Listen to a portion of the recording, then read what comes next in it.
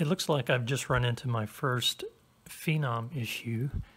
Uh, what's happening is uh, whenever I'm printing something, uh, depending on where the object is on the build plate, uh, it starts to build up clumps of random resin. Uh, these clumps are not stuck to the FEP or the build plate, they're just kind of floating in space. Uh, and as you can see here, uh, based on where the object is, uh, I could get a small amount of resin, I could get a large amount, or I could get no resin. Uh, so this pretty much has me stumped. Uh, it it's definitely looks like a light bleed issue. Uh, it could be a FEP issue or a leveling issue.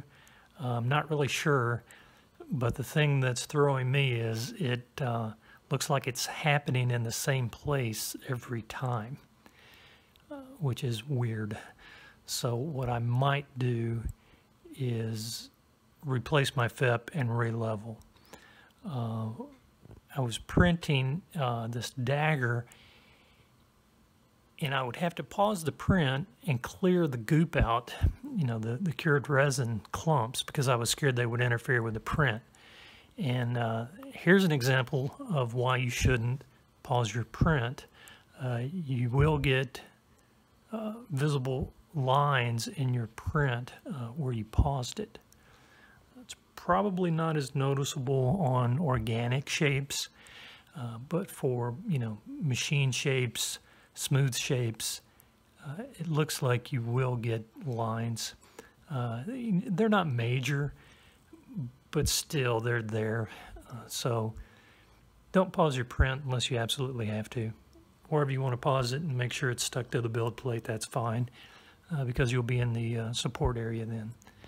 Um, here is an example of uh, some clumps on one print. That was a small print.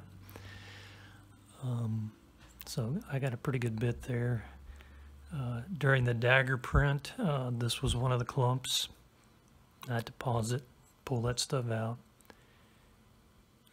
Here's another clump. This was like the worst.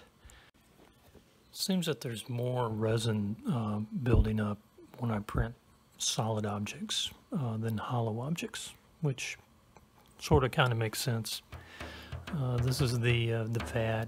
Uh, the the FEP is good and tight. Uh, it's clear one thing I did notice is that even though the vat is perfectly flat, uh, it will rock uh, when I put it inside the Phenom. Uh, and this might be due to uh, the tape around the, uh, the LCD screen. I'm thinking about peeling that off and replacing it with Kapton tape. When I do the exposure test, uh, the screen looks fine. It's all clear, nothing wrong in that area. So I don't think it's an LCD issue. If anyone has any uh, suggestions or ideas, please uh, leave them in the comments below. That's all for now. Thanks.